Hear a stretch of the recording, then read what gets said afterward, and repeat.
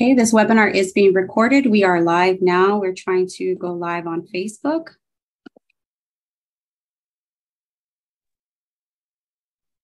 Hello and welcome everybody. I'm going to give a few more seconds for people to sign in and then we will start our program.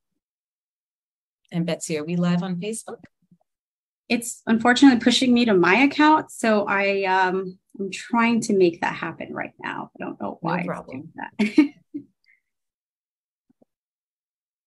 See if I can push it over.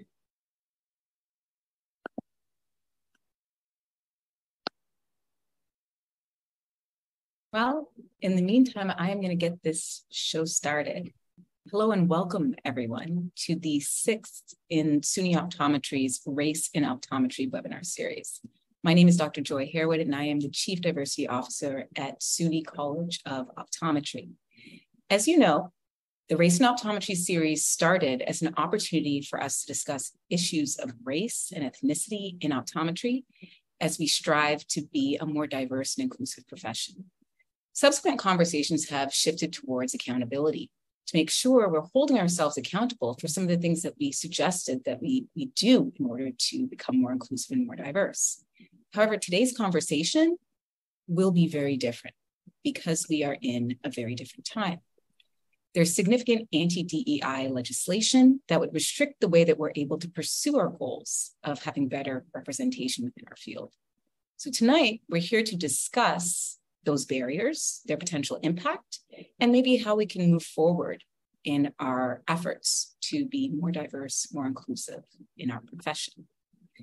It's important for me to say that the opinions expressed in this webinar are the personal views of the individual presenters and do not necessarily reflect the, way the positions of the institutions they represent or at which they are employed. I also want to acknowledge that there were some people who wanted to be panelists in this webinar who were not able to because the current legislative efforts made it uncomfortable for them to speak freely. Now, we have to acknowledge what a shame it is that we do not have their voices represented, but we will continue to push forward. So, to start our conversation, I'm going to bring on the three panelists who are going to give us an overall idea of the legislative climate, the political climate that we're operating in today. I'd like to welcome Professor Kathy Northern, who's the Associate Dean for Inclusive Excellence, and Jones Day Robert M. Duncan, Designated Associate Professor of Law at The Ohio State University.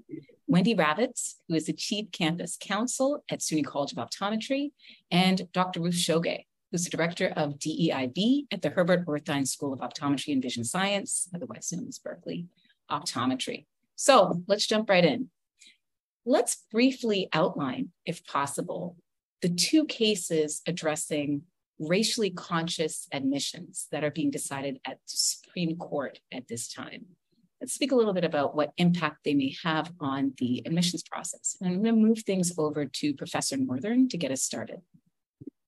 Well, and I'm going to move things to to Wendy. Wendy? Uh, right. Wendy decided divided up some of her comments. Okay. Absolutely. Take it away. Thank you both. So before we get to the two cases that are poised to be released by the Supreme Court, I want to give you a quick rundown of the Supreme Court affirmative action jurisprudence, which has basically brought us where we are today. I'm going to start with a brief discussion of the seminal case of Bakke versus University of California. That case was in 1978. Alan Bakke, a white man, applied to admission to UC Davis Medical School. That school reserved 15 spots out of 100 for qualified minority applicants. Bakke was denied admission despite having higher test scores than admitted minority applicants.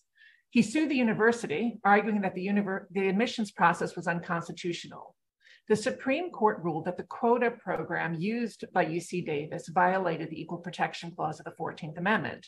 However, the court also ruled that colleges and universities do, in fact, have a compelling interest in formulating a diverse student body and were able to use race as part of a holistic approach in making admissions decisions. In essence, the court said that race could be used as a plus factor in the decision making process. That was where things stood for about 25 years until 2003, when um, Barbara Grutter, a white woman, an applicant to the University of Michigan Law School, sued the law school. The law school used race as a factor in the evaluation of an individual's application. It argued that its consideration of race as just one factor among others was narrowly tailored to address the compelling interest of achieving diversity in its student body and working towards achieving a critical mass of students from racial and ethnic minority groups.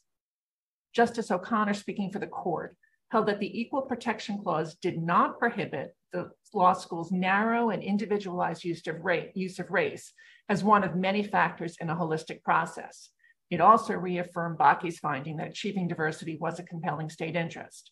But Justice O'Connor observed that race conscious admissions policy should be limited in time and stated that the court expected that 25 years later, the use of racial preferences should no longer be necessary. That statement by Justice O'Connor garnered much attention in the brief submitted and an oral argument um, in the recent Supreme Court cases. And just briefly, I'm going to touch on one more case, Abigail Fisher versus University of Texas 2016. The University of Texas used an admissions process that automatically admitted Texas applicants who graduated in the top 10% of their class. Those seats took up 75% of each freshman class. For the remaining 25%, the university used a variety of factors, including race. Ms. Fisher sued after being denied admission, asserting that the university should not be permitted to consider race at all in the admissions process. The Supreme Court upheld Grutter and the principle that diversity is a compelling interest, permitting schools to consider race as one factor in their admissions processes. So that's where things stood until um, until uh, just a few years ago, when the student a group called the Students for Fair Admissions sued both Harvard and the University of North Carolina in two separate cases. The, the group, the Student for Fair Admissions, was established in 2014 by a group of students, parents, and others who believed that racial classifications and preferences in college admissions were unfair, unnecessary, and unconstitutional. Both cases involve challenges to the institution's undergraduate admissions programs and seek to overrule Grutter. In both cases, the group argued that the schools discriminated against white and Asian American applicants during the admissions process by giving preference to Black, Hispanic, and Native American applicants. But the Harvard case went even further there, the group claimed that the university affirmatively discriminated against Asian American applicants. The issue in both cases is whether the consideration of race and ethnicity in the college admission, admission process constitutes a violation of the Equal Protection Clause of the US Constitution and Title VI of the Civil Rights Act. The constitutional claim applies to UNC as a public institution, and the Title VI claim applies to Harvard as a excuse me, as a recipient of federal funds. Both institutions do consider race as one of their many factors in the admissions process, alongside such, such other things as extracurricular activities, socioeconomic background, military veteran status, etc. Both colleges also assert that their attempts to use race neutral ways of achieving diversity had not been successful, and that therefore their consideration of race was narrowly tailored to achieve the compelling interest in the educational benefits of diversity. Oral arguments in this case were held in October 2022. We expect a decision tomorrow, most likely, or Friday at the latest. Thank you so much for that. Professor Northern, would you like to comment on that or maybe some of the other legislative efforts that are that are down the pike?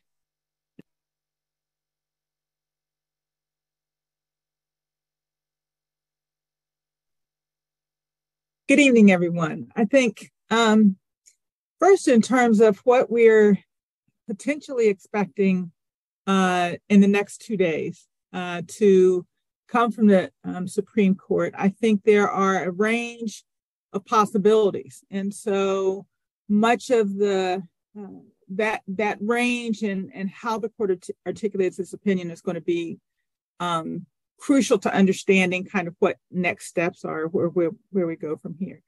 So um, it, the court could just decide the facts of the case before it and decide that um, either Harvard or North Carolina uh, failed to adopt um, racially neutral alternative means in order to diversify their class, and so that they are therefore um, uh, out of compliance with Grutter and that their um, those individual um, cases have merit.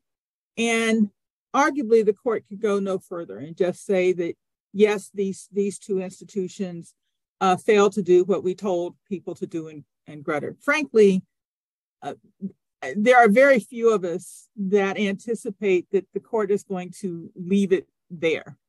Uh, I think most um, of the argument, the oral arguments, focused on um, the inappropriateness from the uh, petitioner standpoint of the use of race at all, the questions that the court um, focused on were in some ways attempting to distinguish between uh, admissions decisions that were basically check off boxes. That if you saw that someone had indicated that they were um, a uh, either African American or Hispanic or Native American, that um, that was the um, kind of determining factor in whether they were admitted uh, without regard to other factors that both schools indicated were played a role. The petitioners assert that really people are actually just using a checkoff box and that that checkoff box is um, impermissible. So the court could um, say that uh, the, uh, especially as we approach the 25 year mark um, that Justice O'Connor talked about uh, in Grutter that we are we're actually what 23 years out, uh, and um, that since universities have and colleges haven't demonstrated that they can actually comply with Grutter uh, in a satisfactory way, that race and uh, ethnicity uh, are just out as considerations. And then the question becomes, what does it mean to be out as a consideration? Is it um, just that universities have to prove that they're not using race and ethnicity uh, in a checkoff kind of way. So that could just involve kind of masking what race and ethnicity are uh, in terms of an application checkoff box, but still being allowed to take into consideration um, statements by students that indicate the role that race and ethnicity has played in their own experience, in their own uh, life, in the way that they um, in, in what they will bring to the college or university in uh, in ways that are specific to that individual and not just saying a person who is a member of the African American race is going to bring diversity in a lot of ways just because they are, uh, which seems to be the petitioner's um, sense of what uh, is going on. And, and many of the questions from the court seem to um, actually address the plaintiff by saying, or the petitioners by saying, so would you preclude the use of these kind of um, experiential statements? And the petitioner said, no, that would be um, acceptable. So I think that the really the crux of it depends upon whether the court um, decides just specifically to these uh, to the parties whether the court says, no, it's really just the checkoff box that we're concerned about and other considerations are available, or if the court goes so far as to um, say, from a majority standpoint, that um, Bakke, Grutter, that whole line of precedent is no longer good law, and um, concerns about diversity and having a diverse student body are not, in fact, compelling interest of a university and so therefore undercut um, many things that are based or you know on efforts to um, uh, to support a diverse uh, educational student body and therefore a diverse workforce in a wide range um, of, of contexts, in, in, including optometry and, and, law and others. Um, so much of what the impact of these cases will depend significantly on the specific language that the court uses to articulate its opinion. And to some extent, um, I could anticipate there being uh, both concurring and dissenting opinions.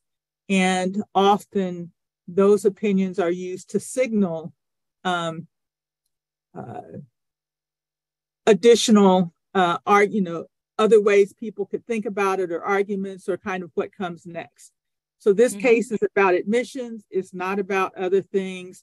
the court is probably going to limit, I, I shouldn't say probably, I shouldn't predict, could just limit its discussion to admissions decisions at that level.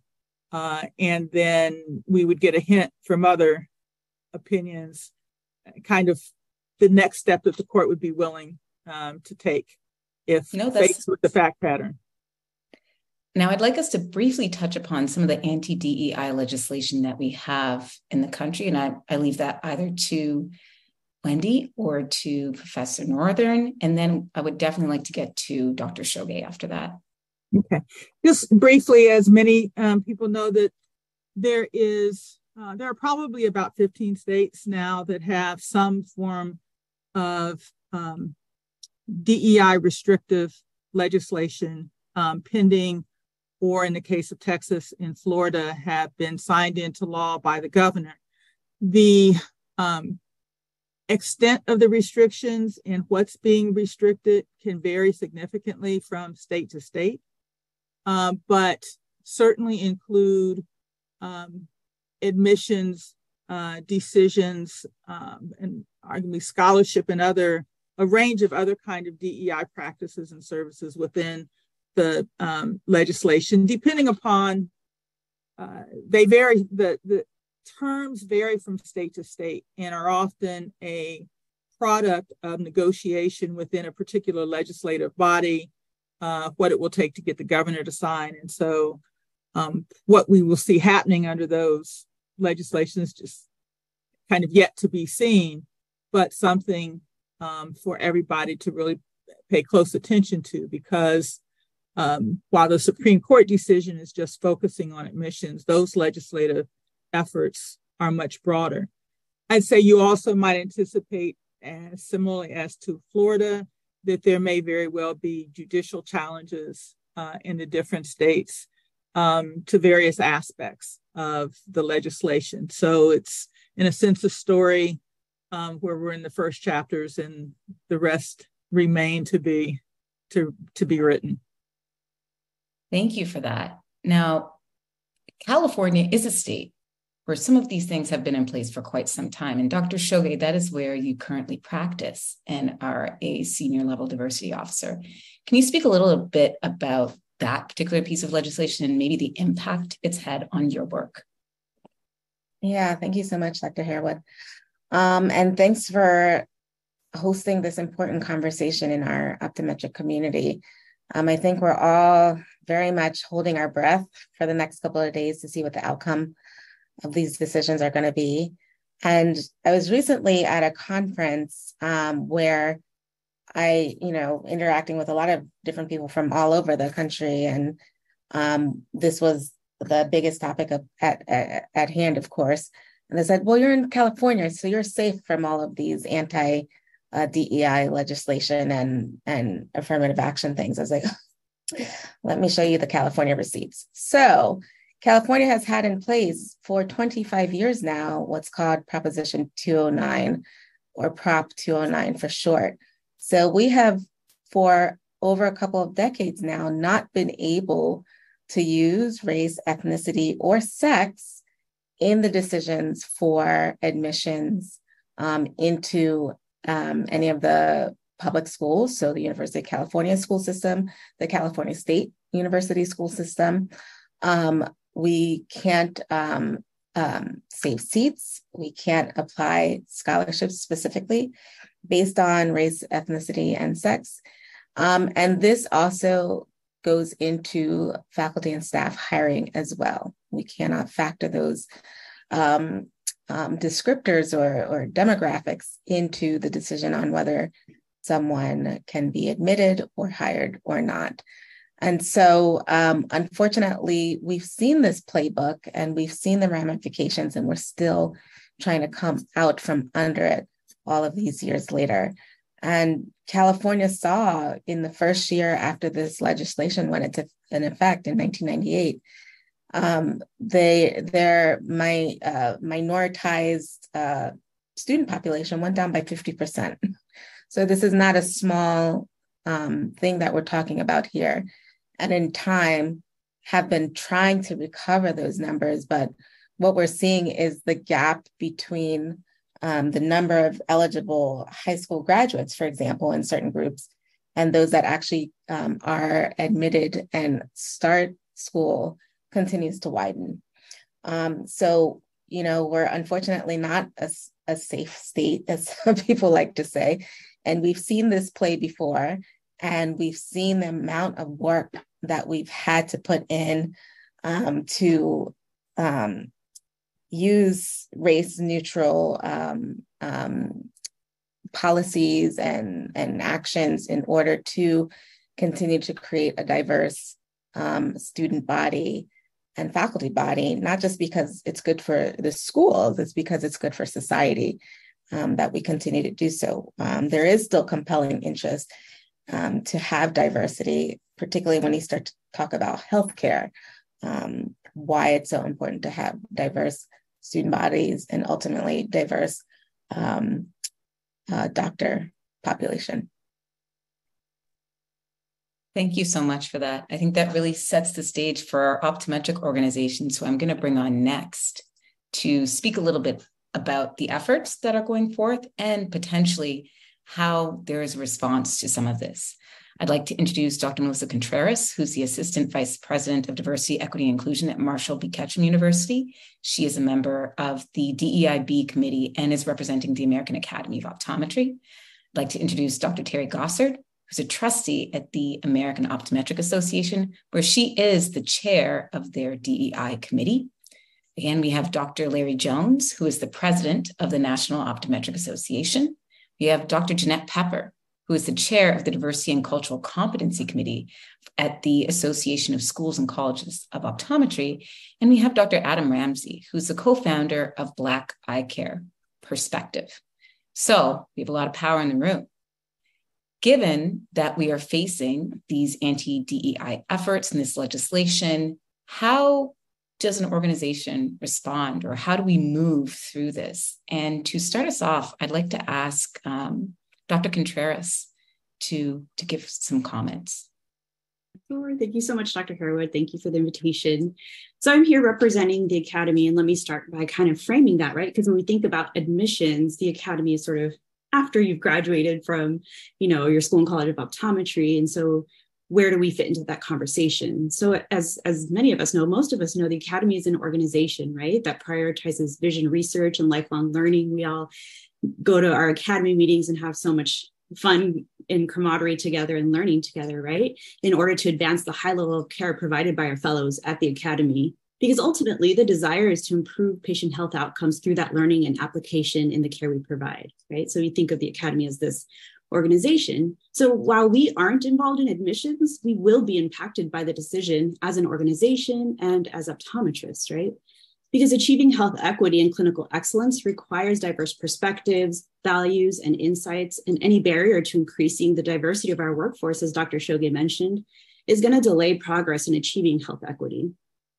And then the thing is that we have evidence that shows how diversity, equity, inclusion efforts are making healthcare better for everyone, patients and providers included, right? Things like workplace diversity associated with improvements in quality of care, patients' perceptions of care improving when they see providers that are cultural, that have cultural humility and provide culturally responsive care. And then evidence that does show that implicit bias is associated with disparities in care.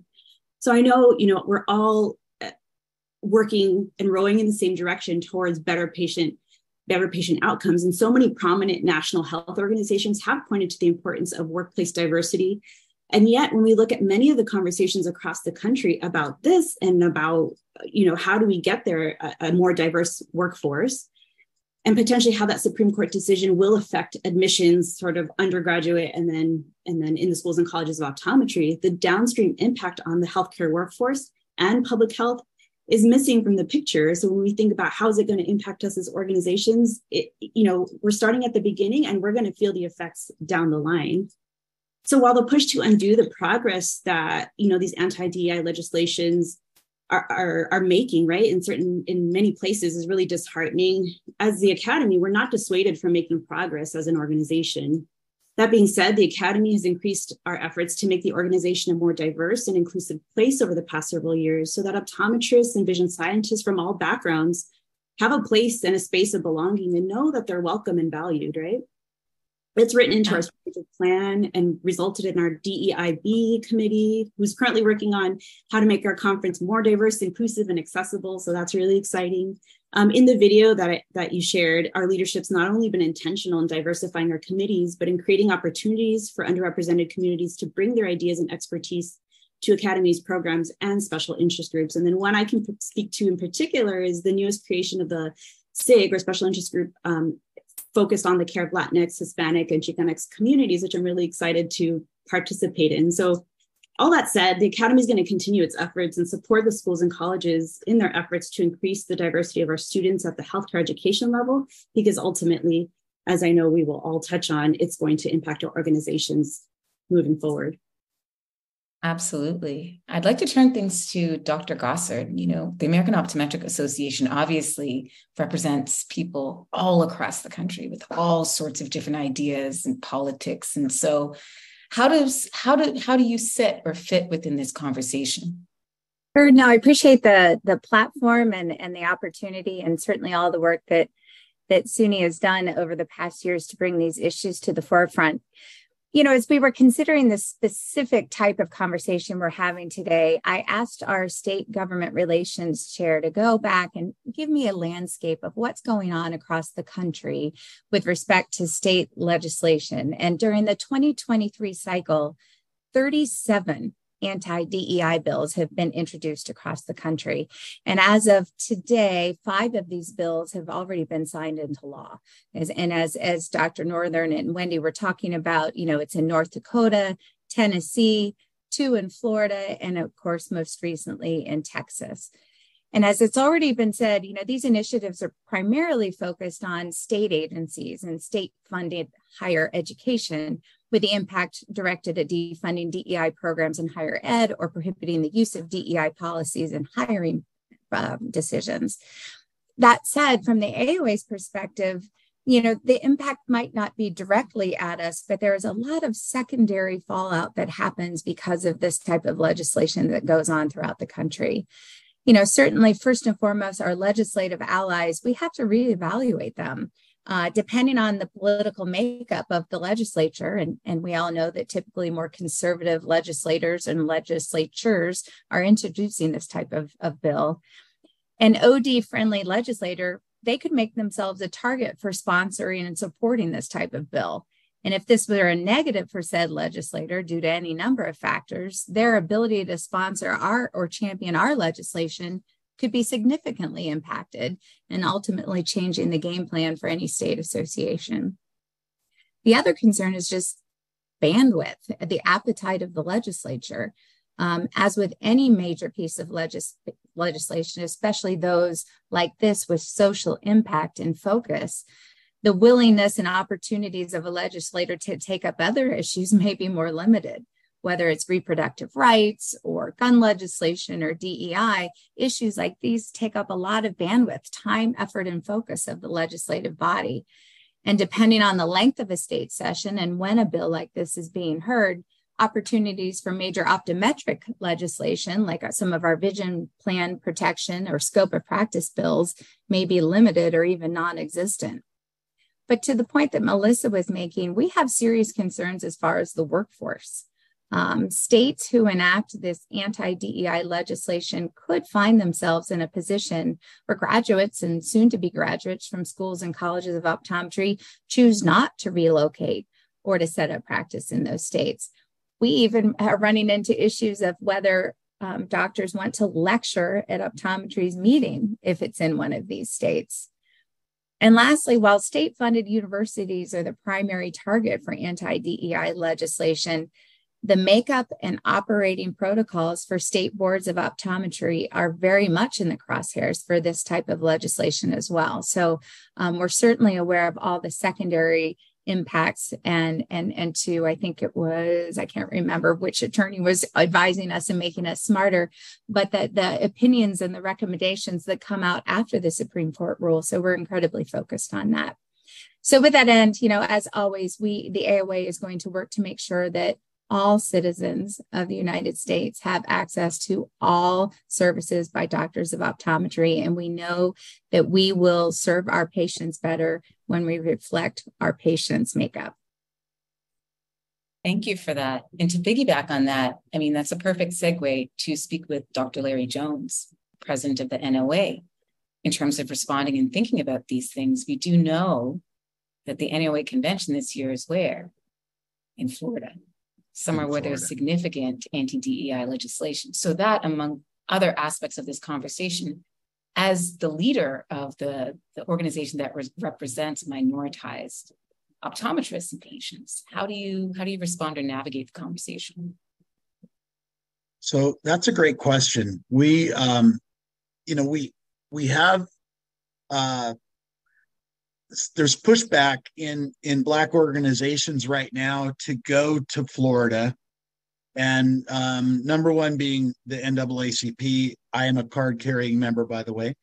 Um, but it's important that we realize the reasons why people are saying, you know, avoid Florida, you know, why is this? Um, we know that Broward County, um, and and Dr. Ramsey can actually, you know, back me on this. I think it's 30% black. Um, the, the the people in the county, as well as Fort Lauderdale area, and we know even as people go to um, Disney, which is, uh, I think it's probably that area is in the 20s in the percentage of people of color. Um, when, when we go to Florida as an organization, we need to be aware of the issues facing the people of color in Florida. And unfortunately, the state government has issued, issued kind of a draconian measure almost um, to create a barrier to diversity, equity, and inclusion. So to me, it's almost an assault on the First Amendment. If you look at the, the freedom of speech and and the right to speak and write and share ideas and opinions without facing punishment from the government, these are laws that were created for all of us. And if you, if, as we're being limited in a way to speak and to speak out, as as we train and we work together i think it's crucial to make changes in in that area that we can that we can be in and since we're going to florida i think nothing has changed unless you're present so a lot of times we have to just show up and that's what we're going to do is show up um, we know that our stand isn't against florida it's against the oppressive government of things that are going on all over the United States. And these 38 states or 37 states that we talk about that Dr. Gossard said, and it, you know, these are these are things that we have to work on as a group. And and we have to understand that, you know, as they move through DEI and CRT and, and, and all these things that are that are locked into training young people and training people you know these are things that happen. And if we can't tell our story who are we? Who are we? If we can't tell people who we are in a in a historical manner or in a in a manner of um, you know these things happened and if it's destroying you know children's lives that are not of color i i don't think so but you know well let's as we move on we just need to make sure that we make ourselves present educational workshops um, when we go to Florida, we're going to do we're going to provide free eyeglasses for probably over 100 indigent indigent people with VSP, and these people are people of color that we're giving free eyeglasses to. We're going to we're we're gonna we can also buy banned books from Barnes and Noble if they're there. We can visit an African American Research Library in in Broward County. We can go to and, and as we conduct our educational classes there. So we've got all of these things that that that we're looking at, and we want to make it an open area and a loving thing that happens. And and I think that this is where we're lacking.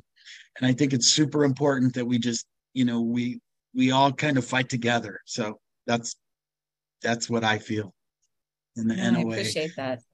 Thank you. I you. appreciate that, Dr. Jones. Dr. Pepper, now, of all the organizations, the Association for Schools and Colleges of Optometry, this is something where all the different colleges come together. And when you have these type of decisions, obviously it can affect every one of them. As the head of the Diversity and Cultural Competency Committee, how do you respond and navigate these conversations? Thank you, Dr. Harewood. Um, it's tough. Um, when you're standing on equity and you're standing on inclusion and saying, hey, this is important and this is how we advance the profession. This is not only how we help to minimize health disparities, but to have a better educational environment for our students and to increase the um, patient outcomes in optometry as a whole. So when you're standing on those sort of values and you have this anti DEI legislation that comes out, it kind of puts a pause on you a little bit. And so, um, what we want to do is if this is the case, we are going to abide by the law and we're going to support every school and college of, of, optometry that's going through these particular issues. Um, but we want to also focus on areas where uh, we are able to focus on or have highlight um, ways where we can still support minoritized students um, and faculty and staff, but within the confines of the law. And what I mean by that is um, focusing on belonging, right? Focusing on um, access, things of that nature to where you will still be able to um, highlight that we still welcome everyone um, to be a part of the schools and colleges of optometry, to be a part of the optometric profession, but we have to do it within these particular confines. Um, we are not happy about where we are right now, but we want to do things strategically so that the drop that we've seen in California that hopefully we can um, combine strategies so that the percentages will not be as dramatic. We're already at low levels already. And with just when they're talking about the pipeline to college, right? And how there's a drop off in regular admissions to college. And so, and then of course, that trickles down to professional school. And so now we have to st- um, find ways to stand out, find ways to say, hey, we're in, as inclusive as possible within the, the state that you are um, residing in. And we want to make sure that each and every school of optometry has the tools and resources that they need to navigate those spaces. And if it means, I think I said this on the other call, we just need to sit and talk, then let's sit and talk like we're doing here today. Because when you know that you're not the only one and that other schools have gone through this, such as California, and how we can look at things that they didn't, that um, we can improve upon and things that we can be more innovative in in reaching those students by increasing the touch points. And when i say touch points what i mean by that is you have your normal recruitment um, um, your normal recruitment schedule or your normal recruitment techniques and tactics right? Well if you're not able to do things with that with that anti um, uh, race or race neutral um, admissions, then you have to do other things to uh, laser in and focus on groups that you want to become a part of your organization. Not only with that, once they get there, how do you talk to them about? Um, the history of health disparities, right? And how that affects patients and why some patients may appear non compliant, but it may be because you haven't connected with them culturally, right? And so if we put it in a manner in which that we can um, deliver the information that it's not um, making anyone feel bad or anything like that, but more so just giving the facts. I will tell you that um, a couple weeks ago, we went on our family vacay with um, my um, my sister's family, my family, and then my parents. And we went on a civil rights tour, right? And it was the rite of passage for our my nieces and nephews and my son because they hadn't had the uh, civil rights talk. So a lot of that stuff was difficult, right? But if you have the support to talk about it there, it helps to navigate those particular spaces. So when we have to talk about that sort of thing with our students, you're not doing it to condemn anyone, but you're doing it to help them um, be better clinicians and persons as a whole. So that way, hopefully, um, we will uh, have resources to support each schools and college of optometry for things of that nature. Oh, thank you for that. And given the issues with the pathway to optometry, I think that's critically important what you're saying, especially given that we have seen a significant decrease in the number of Black applicants to optometry school to the effect of 12%. And that's even before any of these things are happening. So, very important stuff. I'm going to pass things over to Dr. Ramsey to give commentary on the exact same thing. With Black Eye Care perspective, you have the 13% promise, variety of different initiatives. How do you continue to do those things in this particular climate? Uh, thank you. Uh, thank you for the question, and thank you for SUNY even still putting this on. You know, I was concerned that they may have canceled this uh, in, in the face of the legislation, and I commend them for saying no. We're going to stand up, and it's still important to have the conversation. Um, Black Eye Care perspective was started when we said there needed to be a change. And the problem was we sat down and went through ASCO's website that had all the numbers. And we could see the numbers of Latinos going up. We can see the numbers of other minority groups going up, but the numbers of African Americans were stagnant, right? And Black people needed something that was pinpoint and targeted towards them. So if we go back to underrepresented minorities as the conversation we're having, inner city youth as a conversation we're having, we're going to leave those African Americans right there where they were before we started this. You know, the numbers were exactly the same for 10 years. Black Eye Perspective got founded. We started, we started going to the schools. We went and handpicked the students and says, I want to see you. And we says, no, we're not going to leave you. I'm going to hold your hand all the way through the process. I'm not going to let you fall. I'm going to let you go. And those students says, you see me? You think I would be a good optometrist? Yes, you and I'm going to call you and I'm going to text you and I'm going to email you and I'm going to come to your house. And now the numbers start going up. If we go back in the opposite direction, I, I fear for what's going to happen. But I also feel like in in light of whatever may happen, we're having the conversations about coulda, woulda, shoulda here. But it's happy. I'm happy that we're having it. In the light of anything that comes after this, if you tell me that to make a diverse class, I'm no longer going to be able just to look at a checkbox but I'm have to actually interview that student and ask them about their story. I'm not necessarily mad about that. I don't necessarily look at that and say that's the problem because now you're going to have to go and interview that, stu- that student and find out about their about, about their past, find out about where they came from, find out about their story. Because if I sit down with that student and I find out that they worked 40 hours a week while they were in school, they did their homework at Starbucks because that's the only place that they could get Wi-Fi from. And this other student had a tutor all the way through school, and they went to private school all the way through school. And two 3.0s are not the same because now I've heard the story. The effort that you take to get to that 3.0 also makes a difference. If I work 40 hours a week and you didn't, and we both have the same grades, that's not the same, that's not the same 3.0. And when you hear, when you hear the stories from those students, you then can use that to form your class. And it doesn't have to be a checkbox. Yes, it's going to be more work on the schools, I get it, but I don't necessarily see that should be a stumbling block.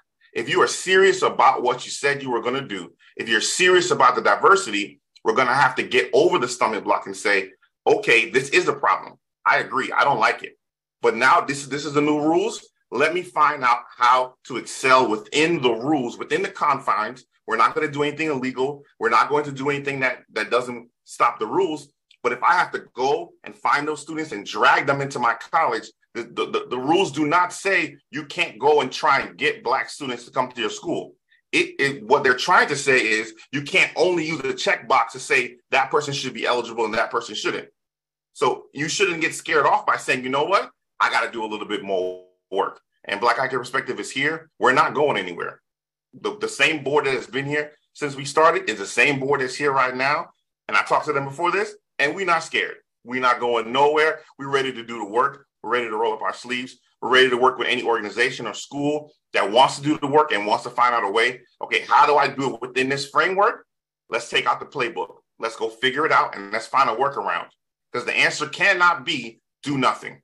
That's not the answer. I'm not going to allow that answer. I'm not going to accept that answer. I'm going to call everybody out that says do nothing. That's not it. We can do it. It's just a matter of saying, what is the playbook? What is the rules? Find the workaround and tell the students, I still see you. I still want you. Your story matters. Your journey matters. And how you got to this this stage, how you got to this seat to be sitting in front of me for the interview. Okay, I understand where you've been. Let me hear your story. Why do you want to be here? Why do you want to be an optometrist? And let that student tell you, and let that determine how you want to how you want to proceed forward. But I think we can still do it. We put black in the name of Black Academic Perspective on purpose because we wanted to go after the targeted group that was the problem because the other groups were going up. If you look at the ASCO numbers, the other groups were going up. The only group that wasn't going up was Black people. So you had to get a targeted plan. You can't just say all boats, you know, on rising tide raises all boats. Some people got holes in their boat, and some people don't even have a boat at all. So you have to have some sort of plan to say, how am I going to go after those people? And no matter what the ruling is, I know we can do it I still have the expectation that the, the numbers are going to continue to go up because I'm going to hold everybody accountable and we're all going to commit to actually going and saying we got to find another way within the rules, not illegal, within the rules, you can still do it. Now, before I bring on our deans and presidents, can you still have a 13% promise given uh, the confines? Great question. Well, be the 13% promise. There's no quotas in a 13% promise. It's just aspirational. It's not saying that it has to be this number or that number. The 13% promise is saying, hey, we can do better. These are the numbers that are out there. I want us to commit to doing better. I want us to commit to increasing the numbers 1%. I'm, I want us to commit to say, you know what, we can do better. But it isn't about a quarter. It isn't about anything. That's you know that's why we we sat down. We had lawyers. AOA's lawyer helped us out by going through and looking through it and going through it and editing uh, the 13% promise. There is no quota. There is no numbers. It's just in the title saying, hey, we we can do better as an organization. We can do better as an industry. We can do better as schools. We can do better overall, realizing that these people are being missed. These people are are being left out of the conversation. So I don't see the 13% promise going uh, anywhere um, when you actually look at the wording in the 13% promise. Thank you for that. And thank you to the organizations for answering those questions because I know that they're not easy. I'd like to now bring on our dean and our president. I'd like to introduce uh, Dr. David Heath, who is the president of SUNY College of Optometry. And I would like to bring on Dean Keshia Elder, who is the Dean of the University of Missouri St. Louis College of Optometry, the first Black female dean of an optometry school. So, with that, we've had a lot of people express different opinions about this, uh, the issues that we're facing, the headwinds. But as leaders within the profession at academic institutions, how do you respond or how do we move through or even change our language? But when we talk about dei in optometry and i'd like to have uh, dean elder would you like to comment first?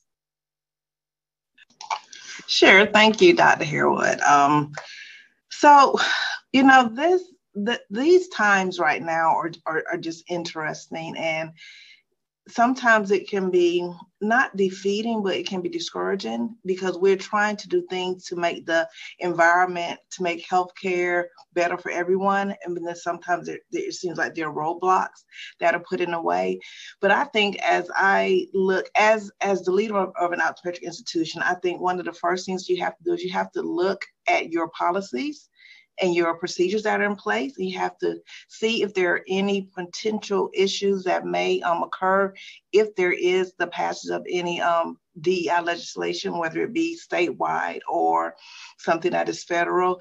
It is important that you consult with your legal counsel, that you talk to your um, your faculty and your staff to make sure that everybody has a clear understanding of any state bills and and, and a clear understanding of any potential um, um, outcomes of the, the Supreme Court decision so that you cannot necessarily have an, an, an, a fully vetted plan in place, but knowing the ways that you can pivot and shift to make sure that you, while you are always standing within a confine and operating within a confines of law, but make sure that you still are able to be intentional about making sure that you have an environment that is inclusive, that is representative of, of everyone that we need to reach in our optometric institutions. Absolutely. Now, thank you for that. Dr. Heath, how do you respond in this in this current climate? Well, it's interesting, and, and I think it's been a great conversation thus far. There have just been some some fabulous comments, Um, and, and certainly it's clear, and it, I think it's changed in the last few years. Um, there, I do believe there really is a profession-wide commitment to doing better. Um, clearly, optometry was not doing well. It was not a priority or as big of a priority as it should be, although among some institutions it may have been more of one than others.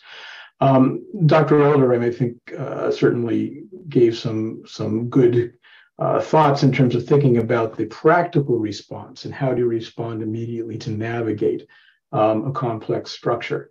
Um, it's interesting. Um, I was the one, you know, I guess, who went and sought panelists and had conversations with those who felt uncomfortable. Um, you know, and, and probably more than the SCOTUS decision, uh, the DEI or anti DEI legislation was really where the chilling effect was coming from the most.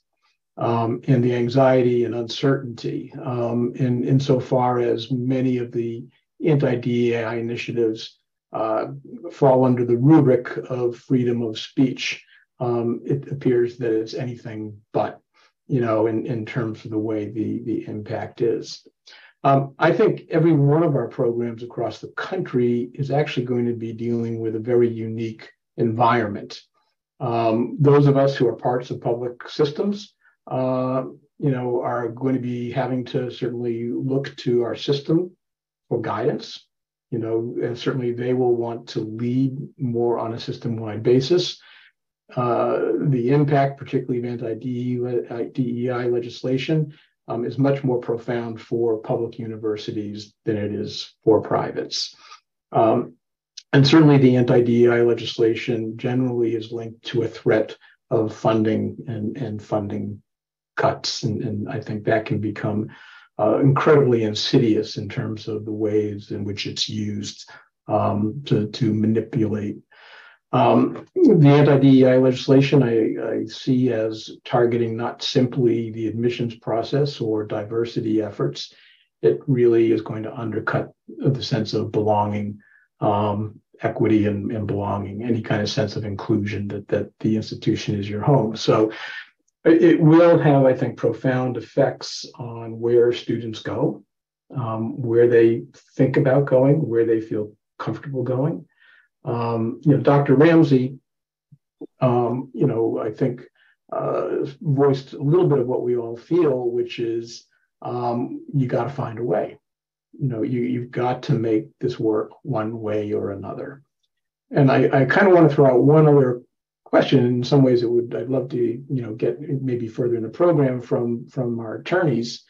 Um, if you go back to the comments by Dr. Contreras um, and and actually Dr. Gossert, uh, both focused on population health and the importance of diversity in improving population health. Uh, most of the court decisions to date uh, are focused on diversity as providing a better educational environment um, an educational benefit um, for the community. Uh, I do think as a graduate institution and for doctoral health care, we're different. Um, the reason for diversity, yes, it makes for a much more uh, vital community, uh, much more dynamic community. Um, you know, uh, I just think a much more inclusive community. But you know, why do we need it? Uh, a lot of the need is to better population health. And so, if the health of the citizens of the United States are uh, a critical interest of government, um, isn't diversity a critical component of assuring healthcare outcomes for our patients? Um, I don't know that it would succeed, you know, but you know, it would be interesting to know whether uh, population health as a justification for diversity would fare any better than simply diversity for the sake of education. Um, but you know, when I look at where we are, um, we're in New York. Um, our chancellor, you know, was Secretary of Education under Obama and is deeply committed to diversity, inclusion, uh, equity uh, issues and outcomes. Um, and we will certainly be looking to him you know, and to central administration for guidance um, as we go forward. But um, I think every one of our institutions is going to do their utmost to still maximize um, the programs that they can within the limits of the decisions and the, the laws of the given states. Now, that's an exceptional question about population health, and I want to bring on our, our lawyers in just a second. But before I do that, as leaders of institutions in higher education, how do you think this affects morale?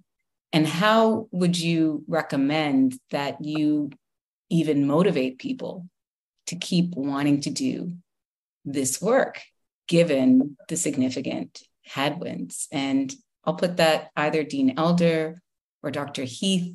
What are your thoughts on that? Um, I, I, can tackle it first, if you don't mind, Dr. Heath. You know, I, I, think it's a really great, great question because at my previous institution, I was our director of DEI. So um, the principles of diversity, equity, inclusion, and belonging are, you know, deeply embedded in my psyche. And then, you know, those of us who are underrepresented minorities know the um, challenges that can occur when you are navigating an environment where you are often in spaces where you feel like like you're alone. So I think when it comes to motivation morale, one of the um, most important things is to be able to have honest conversations with your faculty, staff, or your students who are having concerns to make sure that they're able to have a, a safe space, a sounding board to, to express their frustrations. But I also think it's important to let everyone know that you are still committed to having an inclusive educational environment because we all know that um, health outcomes and, and, and creativity and, and productivity is better when we are in these more diverse and more inclusive environments. So if you um, share your, your plans for how you're going to navigate whatever the um, the outcome is and how you're still um, committed to making sure that you have the types of environments that that you are that you want to have and they know that that the train isn't stopping that you're still moving forward but you're just taking you know somewhat of, of a little bit of a different left or right turn i think that those are some ways that it will that you are able to you know keep your faculty staff and students on board and still make meaningful change no, thank you for that, Dr. Heath. No, I, I couldn't. I couldn't agree more. Um, you know, it's hard for me to understand how anybody can oppose the concept of inclusion and belonging. Um, you know, and, and I think I became much more sensitive to the overall issue, you know, as I listened to our students and realized that some of them did not feel like they belonged. Um, that drives me crazy you know, I, I, want every member of our community to feel like this is their home and, and we are their family. Um, you know, it, I don't know, I don't, I'd like to think that a commitment not only to all of these issues, but a commitment to inclusion um, for all students and a commitment of resources to assure a feeling of inclusion for all students. It may be that resources go in different directions because different people feel different ways. Um, but it's really hard to understand how a program that looks to provide uh, a proper atmosphere and support for learning um, can be undermined, you know, by legislation. Um, you know, and so to me, that that still remains probably the one to tackle. And so when you talk about the morale of the community, I think I agree. Dr. Elder's correct. You know, you've got to you've got to have the commitment. You've got to have the commitment from the top, and and you've got to make sure that everybody understands um, what your values are. Um, you know, it's it's probably the other side, which is the recruitment process and the admissions process. Is is how do you make sure that the students you're talking to and recruiting know what kind of an environment they're going to be in when they arrive. Absolutely. And with that, I'd love to invite Wendy and Professor Northern, if you don't mind coming back on, to discuss if you have a response or something to say regarding that population health piece, whether or not that would be a good way to tackle some of these issues. And uh, Wendy, can I start with you? Oh, you're muted. Of course I am. Okay. so I, what I was saying was um, that I think Dr. Heath makes a very good point. Um, you know, but but how we move forward will depend very much on what the decision says. So, you know, if the court sort of takes the position that there's not a compelling interest in building a diverse undergraduate environment, which is what these cases dealt with, then the door might be open to make the argument that, well, th- this is apples and oranges. We're not talking about an undergraduate environment. We are talking a bit about serving the healthcare needs of a diverse population for which we may need diverse healthcare providers. So, you know, again, not having the benefit of knowing what the what the court is going to say, um, you know, we're somewhat limited, um, you know, in in in in what we can predict. But I think the facts, you know, may be very closely tied to the facts of the case before us.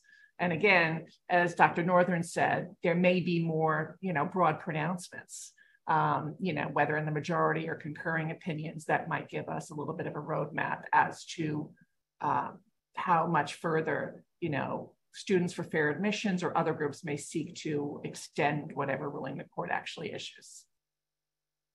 Now, I invite Professor Northern if you'd like to comment on that, or if you simply think that Wendy took care of it. It's completely up to you. I think Wendy took care of um, it completely, but I would add that one of the things that I think schools will need to be mindful of is that the response back will be um, so you can can you demonstrate that the diverse people that are coming into the profession are serving the diverse population if that's your rationale or are they pursuing the same kind of um, professional opportunities that a majority person would? Or um, what evidence do you have that um, a majority person you know the evidence in terms of um, why we need diverse individuals in particular health related professions. And that may differ from one profession to another, or are you getting people to um, actually serve those communities?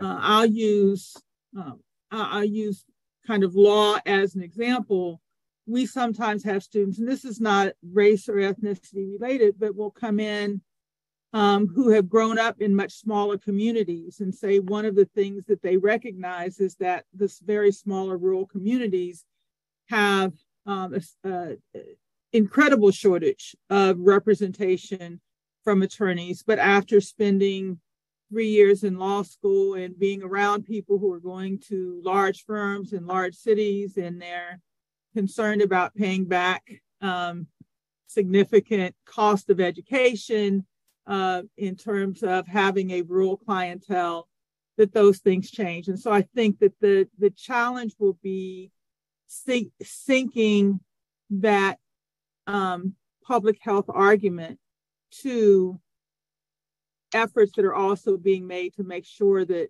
there is some linkage between um, the recruiting effort coming in and the service implementation going out. And I think that kind of challenge is going to vary significantly depending upon where you are, what your population is, and that. But I, but if I'm an attorney, that would be the kind of pushback that I would give to that argument: is can you mm-hmm. show me that that's actually happening? Yeah, and, and I would I would agree. I, I don't know all of the uh, research in in this public health arena and there's there's two elements. One is population health and serving those communities. And i i, I have reason to believe that I, I think there is significant research that shows this to be true. But you're right the, any argument would have to be rested on good research and good data.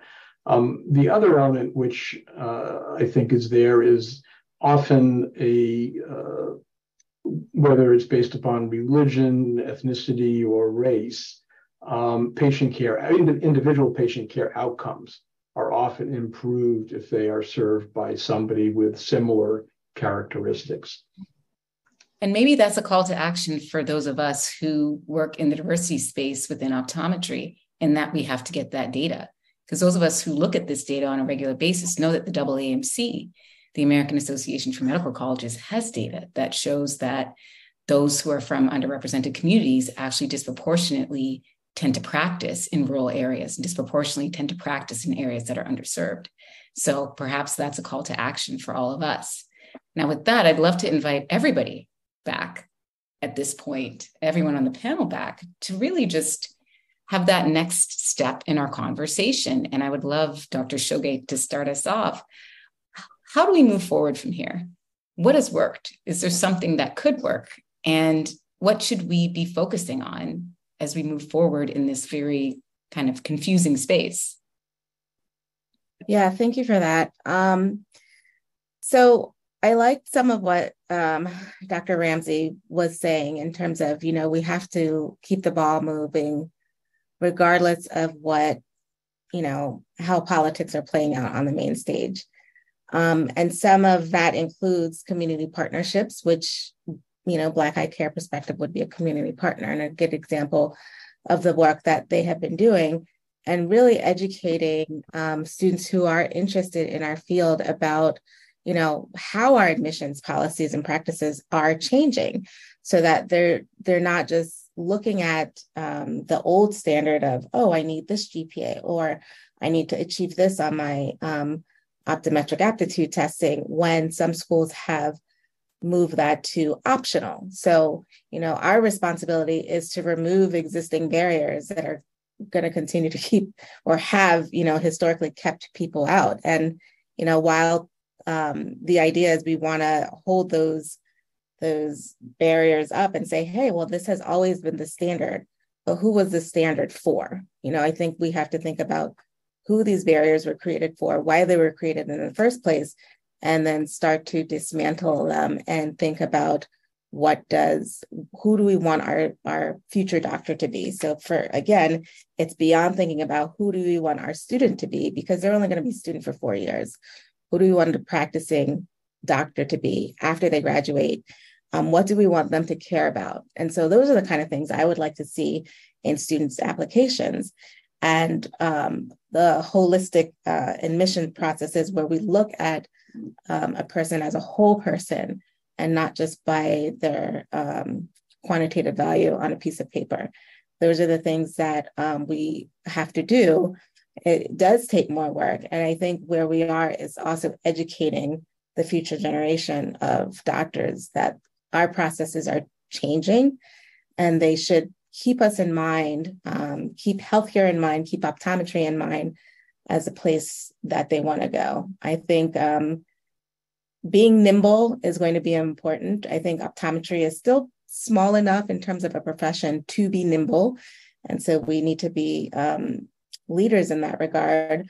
And I think there we have, you know, our major organization, professional organizations represented. And I think, you know, in being nimble, we have to do more than one thing at a time. So while we're in the process of engaging students in a different kind of way, um, thinking about our application and interview process in a different kind of way and overemphasizing what inclusion and belonging looks like, we also do still have to be able to say, hey, these policies are inherently racist and still have the ability to say, you know, you're asking us to be colorblind, you're asking us to be race neutral, but that means you're really ignoring the problem that disparities exist. That it's a, it's a certain denial that I don't think has any place in our healthcare system. So we have to be able to, you know, fight this war on both fronts. Be nimble, make some changes and pivots, dismantle the barriers that are still in existence, and then also call out um, how damaging this is to healthcare, to our society as a whole. Thank you for that. Now, at this point, I would invite anybody to comment if you want to comment after, but if nobody comments, I am going to keep these questions rolling because you know I have questions all day. Um, what can I say something, Joy? One thing absolutely. I wanted to tag on that Dr. Uh, Shogay talked about. So I don't know if you all seen this or not, but the University of Arkansas talked about they dismantled their DEI um, office and what they the whole university. And what they decided to do was they decided to um, keep the DEI um, individuals on campus, but integrate them into other departments. So some are in student success, some are in student retention, some are in the equity office, all that sorts of things. So it may require us to have people who are trained in DEI, not a particular DEI person per se, that where everything falls on, but each office or each department has people who are well versed in DEI principles so that um, people can be at the table to say things or to bring up things that people may not think about or the perspective they may not have at the time. So that's one way we can do that. But then also, when we get our minoritized students or underrepresented students on campus, how are they treated? Are faculty equipped to make sure that these students are um, uh, feel like they belong or feel like they're included? Um, and do we uh, make it imperative for that. I know that there are some states where you can't mandate mandate training. That's perfectly fine. However, if you see that one doctor or one faculty member is getting doctor of the the year all the time, and you might ask, okay, what are you doing? And it may be I'm going to this training or I'm doing this and I'm doing that. That may be a way to emphasize or to highlight that how they belong or how they feel when they walk on your campus is just as important as getting them through the door.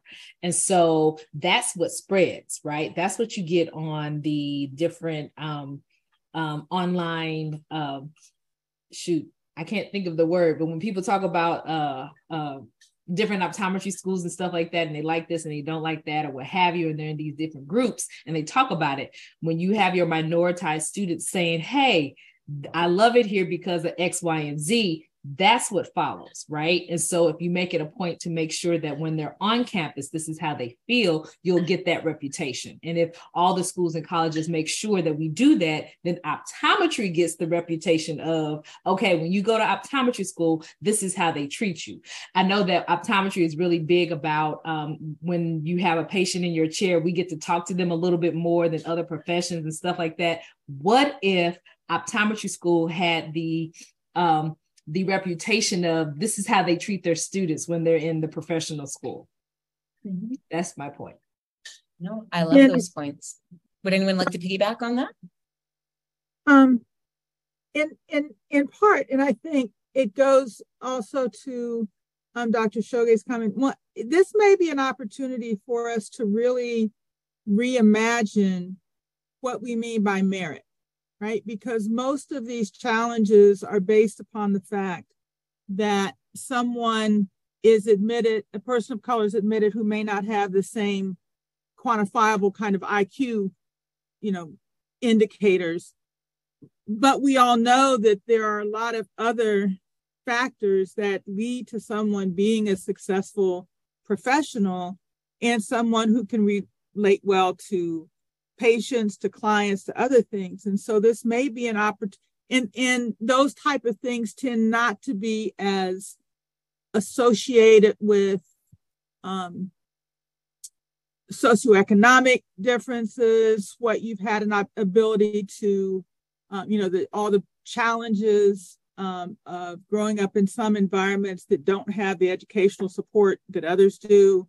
Um, the ability to pay for the preparation tests and all those kind of things. So how can we think about those traits, whether it's empathy, whether it's cultural um, competence in thinking about the ability of an individual to be comfortable in and work in an environment that is where they're not um, uh, you know they're not in the majority there's there's a certain skill set that you develop when you're continually working in an environment um, in which you're facing certain challenges and certainly that's true. Uh, um, you know many of of uh, our our students of color. So how how can we think about the, and the things that are important to patient care right? The empathy the cultural competence. How can we begin to think about how to identify those in that holistic process that we can say these are things that we find um, are related to merit and that we can identify in our diverse students in the same way that we can identify them in majority students. But if we're focusing more of our attention on those as being important parts of what we want in our institutions, that may mitigate to some extent the disparity that is arising out of focusing in on the standardized test and the GPA and the GPA uh, without context. I think um, Dr. Ramsey talked about a 3.0 from somebody who's been able to, to you know, uh, pay for all the tutoring and resources versus someone who's working 40 hours a week in an effort just to survive is a very different number. But that person who gets the 3.0 because they're doing everything else they need to survive and they're still being successful to that brings a lot of different things in. So just how can we rethink merit in a way that doesn't um, run afoul of whatever restrictions um, arise over the next days and weeks and months, uh, mm-hmm. and, and and still reach and still reach the populations we're attempting to reach. Absolutely. Does anyone else want to go I'd ahead? Like, I'd like to ask Dr. Shoge a question um, in California, um, because certainly you know in our admissions process we do certainly look at non-metric variables um, in terms of somebody's preparedness for optometry school. It, it, gets a little bit to that redefining of merit. Um, how much is it? How I guess how uh, in, the admissions process in California, I don't know how strong the guidelines are for what you can and cannot do. Um, you know, is it supposed to be virtually a blind decision process where you don't even see the candidate? Um, how do some of these non admissions tests, non GPA factors get considered in the California system? So, to kind of answer your first question in terms of how stringent it is, you, we we have to really be careful and thoughtful and mindful of of um, this proposition that is in place because we don't want to be the one that's like that's called out for breaking the rules. So, you know, the conversations that happen in, you know, the admissions office, um, a lot of, you know, we're checking each other. Can we say this? Can we do this? Let's run this by the law team. And, you know, so I think we are very sensitive about um, what we do and and can't do um, but also some of those proxy factors or proxy measures, which you all have alluded to in terms of using socioeconomic status, uh, family income, neighborhood circumstances, what was their school like, what other disadvantages um, show up in their background. Those are all part of the holistic review process. And so, what we do is we've kind of separated our admission and our interview teams. And so, there's a first kind of red flag review where um, those are primarily um, the staff in um, our admissions and student affairs office who review the numbers, if you will, of, of the, the students and just getting a basic idea of who do we think um, would be able to um, stand up to the rigor of, of the curriculum. Then, when we get into the faculty and peer interviews, so um, a current student is paired with faculty and they actually do the interview process, they are blinded to those um, qualitative values of a student's application. So they don't know what the GPA is, they don't know what their OAT score is if they submitted their OATs. Um, and that's so far been a good way to keep those processes separate and then finally, the admissions committee looks at the whole um, package, you know, the initial review, the interview, and then make a decision about the, the admission of the student. So that's been our um, process. Um, we also are trying to do annual trainings with our admissions committee, with our interviewers, um, just so that we all stay abreast of what it is we're, we're trying to do here. And um, that has been part of my work. No, that's great. I think that definitely answers the question. Did anyone want to comment before I move on to? Okay. Um, so, the, for those uh, organizations that seek partnerships and have connections and the way that we work together.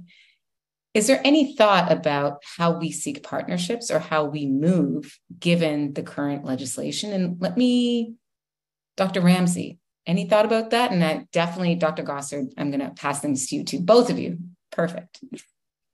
Um, thank you. Uh, yes, at Black Eye, Black Eye Care Perspective, we have been very thoughtful about partners. I've been on Zoom calls just like this with people saying, Hey, I want to sign your 13% promise. And I ask them why. And they have no idea. They have no answer. They want to do it for marketing. I said, I'm not here for marketing. I'm not here for you to ask to use our logo on your website to make you feel good. That's not what it is. You have to say, I want to do the work. Why do you want to do the work? We've had companies that want to do stuff with us, and we says, hold on, you talking about 13% promise, but your whole executive team is white. You haven't even tried on your own. I said, you got to fix your own house first before you start saying, oh, I want to support schools and this, that, and the other. And you don't have a single minority in your in your C-suite, any minority. So you can't say I'm going to be supporting the schools and I'm going to be supporting all these other people, and I want to see so much diversity over there, but you don't care enough to see diversity in the people that are giving you ideas to help your company grow. You don't see value in the people that are around you to say, you know what, diverse ideas in those people might help our company get better and go forward. So we've we've helped companies, and I'll leave them out, but we've helped numerous companies find executives find advisory board members, um, find uh, sales reps. Have we've done a lot of stuff, and we've left some of that you know behind behind the scenes. But um, and say, okay, after you've done the work, now we can talk about a 13% promise because the promise out there, you got to promise it to yourself first. So we've had we've turned down more companies than we've accepted for people that wanted to get involved and wanted to be involved because they couldn't tell me a, a, a fair why. Why do you want to get involved? Why do you all of a sudden want to do this work? We're, we're, we're not here. We never were created. We never were started for you to use us for marketing. They're like, oh, we saw you on Roland Martin and we saw you on this show. Can you get us on there? Why? What am I going to say when we get on there?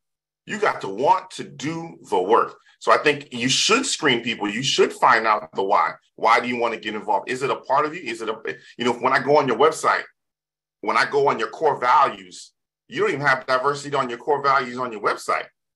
So if you don't have it on the uh, uh, at least on the website for fake, then how can you say you want to do it over here? You know, so we totally screened people and said, you know what, this is not a good fit for. It has to go both ways. You know, we want to be able to work with people that want to work with us, and then we can continue to have conversations. We want to have lifelong partners. Yeah, I, mm-hmm. I'm not here about getting money for a year or getting something for a small time. I'm here by making lifelong relationships that we're going to continue to work and grow together. And we're not saying we're perfect, but I want to work with somebody that can look, look themselves in the mirror first and say, you know what? Let me work on myself. And maybe can you help? Now, if you come on a call and says, you know what? We need your help to get there. Sure, let's do that. But let's do that before we put a press release out. Are you mm-hmm. willing to do the work for a year without nobody knowing that you're doing the work? Or do you want to do the press release before you do any of the work? Because then, then I, then I know what your why is. Mm-hmm. And we've had companies say, no, no, no, that's not what we want. I said, okay, let's thank, appreciate it. You might want to find, you can find somebody else. And we've had numerous companies say, you know what, help us do the work. And I have sat here on my own. I usually see patients four or five days a week. And I sat here on Mondays and I would see company after company and work with them for months here in my office, in this home, work with them, work with their teams. We did diversity, equity, and inclusion training Dr. Pepper was the one that we when I I started it and I handed the baton to her. Dr. Essence Johnson would go and meet with these companies and do the training and do the tools for those people. And those companies turned around and we go see them and their team is 25% minorities now when it was like 5% before we started because they wanted to do the work. Um, so I'd say, yes, it's fair to screen people. Yes, it's fair to say. And I think we should be asking, why do you want to do the work? Absolutely. Dr. Gossard, did you have a comment before we move to Yeah, I'll make it quick. Um, it's hard to follow Adam. He, he you should have been a preacher, Adam. I think you might have been a miscast, but but thanks for preaching. You know, um, you know, I say this a lot, but I truly mean it. I appreciate the the conversation around collaboration. A quote that really resonates with me is if you want to go fast, go alone. If you want to go far, go together right so certainly it is that collaborative effort that is that is really going to help us make a difference in this space and and certainly the aoa partnering with black eye care perspectives um, we're looking at a pilot project where we can focus um, in states that have large Black populations, HBCUs? How can we target and recruit in those in those institutions and introduce the profession of optometry to, to students that may not be aware of how amazing this profession is? And and to that end you know we also want to elevate the profession um, outside of those spaces. And and you know black eye care perspectives we need more black eye doctors but they also say we need need more eye doctors. And and so how can we talk about our profession in a meaningful way that will drive applicants to us? And certainly partnering with ASCO and their optometry gives me life campaign and marrying it eh, however we can with our um, I Deserve More public affinity campaign, I think will be very impactful. We partner with our student association to continue with the Opportunities in Optometry grant to help fund applicants from underserved populations, help defray the cost of application to optometry school. And, and that's just the tip of the iceberg. I think that we have many more opportunities for collaboration, including building our own leaders from within with our own leadership institute. So, um, amen to that joy. And, and the more that we all work together, I think the more that we can travel far together. Absolutely. Now I'm going to actually hand things back to Dr. Heath. This is our sixth iteration of race and optometry. Our you know our topics have changed our environment has changed. What do you say to wrap us up and to bring us into hopefully fingers crossed next year's seventh race and optometry series? Well it, it's very interesting. First i dr ramsey uh, earlier you know said thank you to SUNY for hosting the conversation um, and, and, quite honestly, I simply think it's the responsibility of universities to have conversations um, and to deal with these issues. Um, I did come into this this year initially wondering whether we had run our course. Um, this session, once a year around the Juneteenth holiday, was designed to establish an accountability loop. You know, that all of our organizations, our institutions, um, made commitments to DEI uh, several years ago, particularly after the murder of George Floyd. Um, and part of the question was, well, yeah, you talk about these things when things happen. You know, when there's a crisis, it comes high on the radar. Um, but invariably, it seems that it begins to fade and it loses its priority status over time. Um, I want to encourage anybody who has, is listening, um, who's been a participant um, in this, to actually go to the videos where people talk about what they've done. Because um, I think each of our organizations have made significant progress. And you wonder whether the commitment is shallow or whether it's deep. Well, it's been happening long enough that I'm encouraged that it's deep but I worried that people really weren't interested in what our organizations were doing. Um, and as we pivoted a bit and started talking about the environment and the headwinds, as we call them, um, became a much more interesting conversation. Uh, and it's clear that the SCOTUS decision, you know, which, uh, you know, again, we kept hoping it would come out before this conversation. Uh, they'll probably on this one, it'll be 901 and they'll let it out right after we close down. Um, but um, that's only the, the tip of the iceberg. I mean, this these issues are going to be challenged. There's going to be different court cases. DEI legislation is going to be litigated. Um, there's going to be all kinds of insidious ways that people use financial leverage to try to modify or control behavior. So it's hard to believe that there's not going to be a lot to talk about next year. Um, so certainly my commitment is stay tuned for uh, part seven. Um, we'll have to come up with a pithy title for for for part seven. Um, so you know, it's been a wonderful conversation, and I hope everybody benefited, both the folks who are on the panel as well as those who are in the wings. Um, I do want to thank you all. You know, I, I, really want to thank you all for for coming together and being a part of this conversation. Um, you know, it, it just gets better every single year. And I do want to particularly give a shout out to Dr. Harewood, to Joy, uh, for another fabulous job as our uh, as our MC uh, facilitator. So you know, thank you. And with that, um, boy, let's all see what happens tomorrow. Absolutely. So thank you to all of our panelists and all of all of everyone in the chat. I want to give a shout out to Dr. Marshall, who I know always has some wisdom to drop on this topic. And it's nine o'clock. So our conversation is over, but hopefully it will continue in our homes and in our academic institutions and our optometric organizations. Have a good night, folks. Good night, everybody. Good night, everybody. Great talk. Yeah.